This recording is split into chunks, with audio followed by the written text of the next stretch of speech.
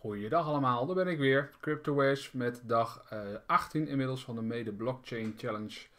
Mede Blockchain Be With You Challenge. Ja.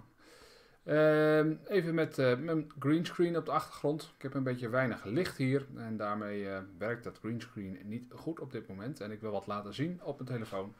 Dus dat moet even anders. Ehm, ik laat even zien wat de opdracht is voor vandaag. Eens even kijken. Zo doe ik dat. 18 is create an account on the social media platform Rebuzz and start earning crypto. Ik kende het niet, dus ik ben even gaan zoeken. Nou ja, als je dan uh, naar uh, Rebuzz, even kijken. Ik ga er even bij pakken. Naar Rebuzz gaat, dan uh, kom je hier, rebuzz.io, rebuzz.io is het.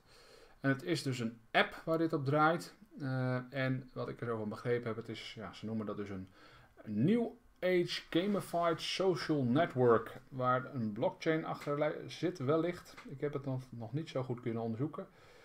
Er wordt in ieder geval ook met, met bepaalde coins gewerkt. Een buzz, een aantal buzz die je krijgt. Uh, ik zal even laten zien. Even kijken. Kijk, zo ziet het eruit. Rebuzz. En ik moet dus nog eens even op onderzoek gaan hoe ik mijn telefoon goed in het beeld kan krijgen met OBS. Ik zal dit ook even laten zien. Daar zie je dat.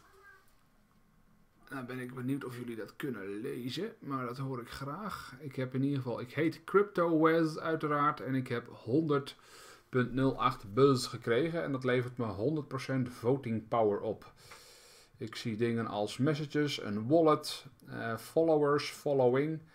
Ja, nou ja, het is echt een social, uh, social media platform. Dus ik, uh, ik ga eens even op zoek naar wat mensen. Mochten jullie willen linken met mij en dit samen aan willen gaan, lijkt me leuk. Stuur me even een, een, een PM'tje als je erop zit met, je, met hoe je daar heet. Dan gaan we connecten. ik heet dus CryptoWes, niet geheel verrassend. En laten we eens kijken hoe dit werkt. Ik, ik ben benieuwd. Korter dit keer. Uh, ook wel eens lekker voor jullie en voor mij. Ik zou zeggen, fijne dag en uh, tot de volgende keer maar weer.